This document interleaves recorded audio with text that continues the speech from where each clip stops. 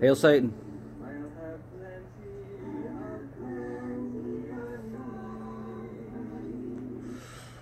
I'm just kind of relaxing right now. Um, that's what I do sometimes. Take a load off, I guess.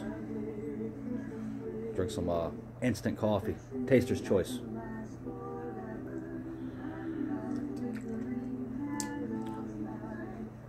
I know a lot of people don't uh, really like the uh, instant coffee, but I really don't mind it.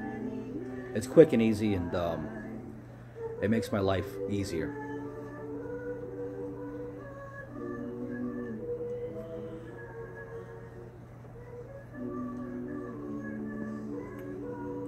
Well, you guys have a good night, okay? Good job.